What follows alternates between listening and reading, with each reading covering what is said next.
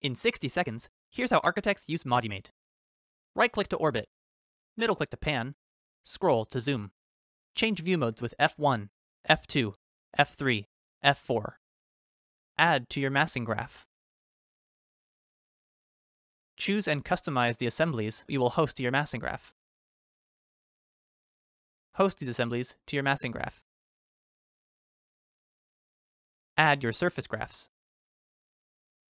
Choose and customize the attachments you will place on your surface graphs.